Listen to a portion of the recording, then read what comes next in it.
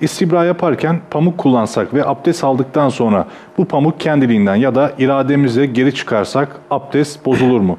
Pamuğa necaset bulaşmış veya bulaşmamış olarak çıksa hüküm fark eder mi?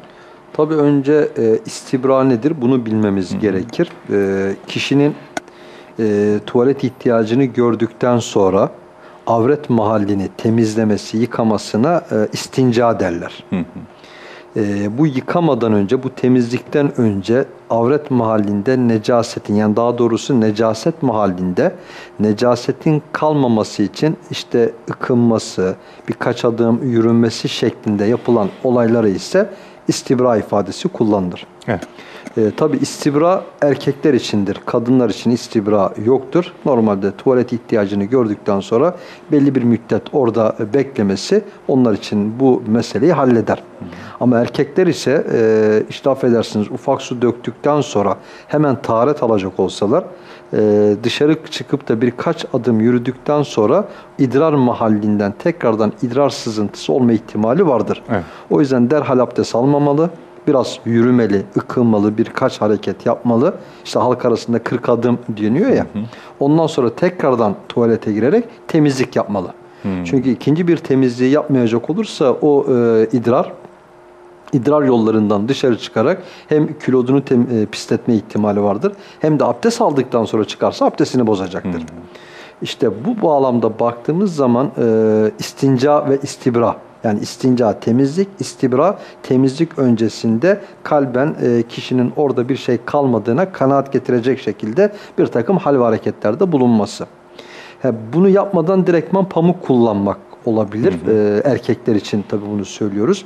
Ee, bu durumda pamuk kullandığı zaman e, abdestini alsa ve daha sonradan sualde olduğu üzere pamuk dışarı çıksa abdesti bozulur mu bozulmaz mı?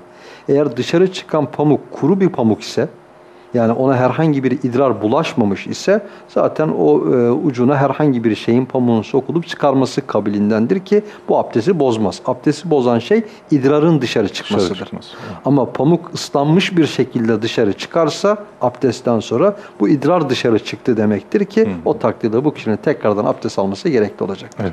Hocam bu özellikle abdest mevzusunda yani arkadaşlarımız arasında çokça e, konuştuğumuz önemli bir konu aslında. Çünkü namaz ibadetimiz bu. Evet. E, orada şöyle bir şey yapılıyor. Mesela lavaboya giriliyor. Herhangi bir şekilde pamuk kullanma yok veya bir peçete veya bir bez kullanma gibi bir durum yok. Direktmen mesela yüründüğü takdirde bu iç çamaşırına damlama gibi bir şey söz konusu oluyor. Evet. Burada nasıl bir şey yapılacak? Mesela e, damla gelmediğini artık gördü kesin olarak ama bu iç çamaşırına damladı. Yani şöyle diyelim, e, tuvalet ihtiyacını gördükten sonra hemen abdest almadı. Aradan biraz zaman geçti. Zaman geçtikten sonra tekrardan tuvalete giderek temizlik yapmadığını düşünerek abdest alacak olsa. Evet. E, bu durumda abdestten sonra belki yeni bir idrar gelmiş olmayacak ama o yürüme anında yani abdest öncesindeki yürüme anında e, işte necaset mahallinden necasetin iç çamaşırını kirletme ihtimali. Evet. Ki bu olması muhtemeldir. Böyle bir durum e, abdeste zarar verir mi? Bu abdeste zarar veren bir durum değil. Çünkü abdest öncesinde olan bir durumdur.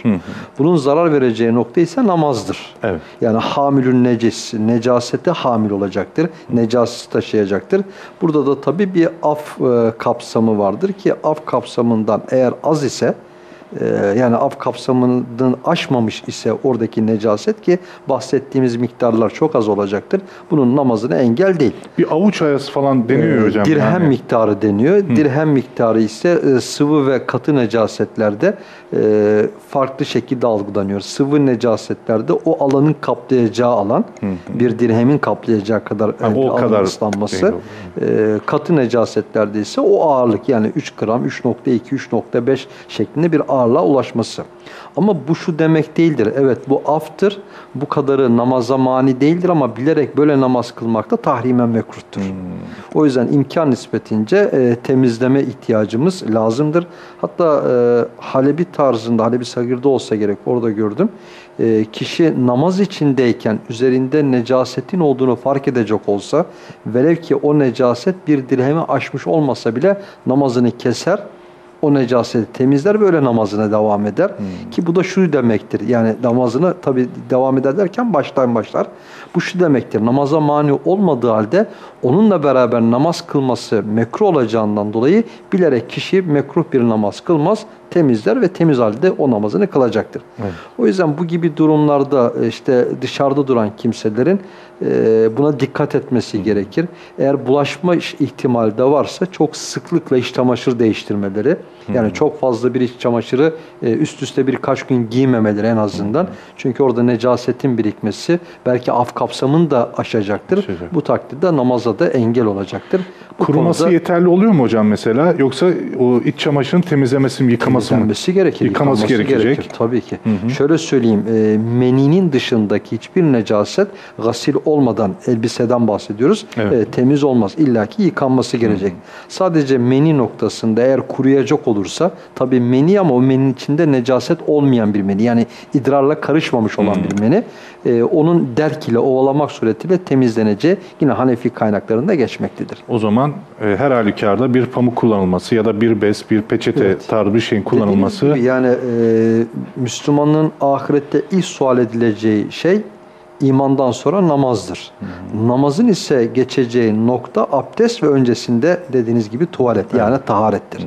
Yani bu basit gibi gözükse de aslında çok önemlidir. Çünkü namazımızın sıhhati tuvaletteki temizliğimize bağlı. O temizlik olmazsa abdest olmayacak, abdest olmazsa namaz olmayacak. Namaz ise müminin miracıdır, dinin direğidir. Onun olmaması ise insan için bir yıkım olacaktır. Rabbim muhafaza buyursun. amin inşallah hocam.